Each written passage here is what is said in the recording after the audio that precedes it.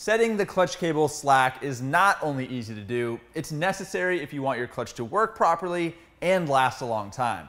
We'll show you how to set your clutch lever free play in this video from the MC Garage.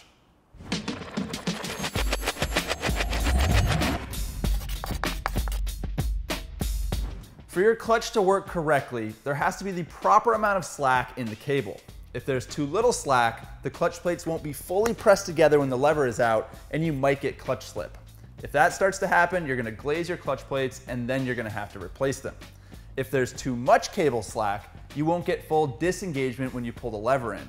That's gonna make it hard to shift and the bike might creep when you're sitting at a standstill with the transmission in gear. To check the free play, you're going to need a tape measure or a vernier caliper, and you're going to need a cold engine.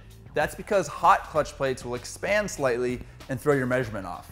Typically, you're gonna measure from the end of the lever to the grip or between the back of the lever and the lever perch. But you're gonna wanna check your workshop manual for the specific protocol and measurement on your bike.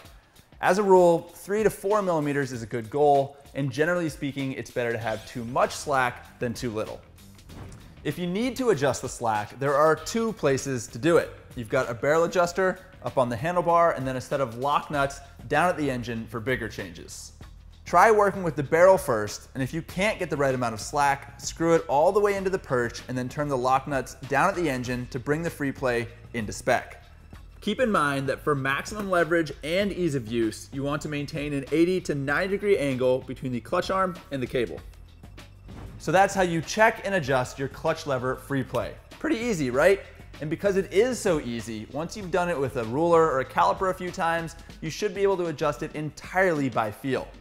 In any case, you're gonna wanna reference your manual to see what the maintenance interval is, though again, as a rule, it's about every thousand miles. And while the free play spec is obviously important, it's okay to stray from the spec and adjust the slack to suit your hand size or your preference for engagement point or lever reach. Just make sure that if you do that, the clutch can still fully engage and disengage when the engine's hot. There you go, another fundamental back to basics video for you guys. I'm sure there are gonna be some more experienced viewers out there that are wondering why we're covering such obvious, simple topics, but hey, this stuff isn't obvious to everyone and nobody is born knowing this stuff.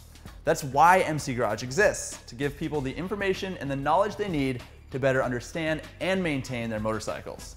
So I thank you guys for watching. I hope you'll subscribe, and until next time, ride safe.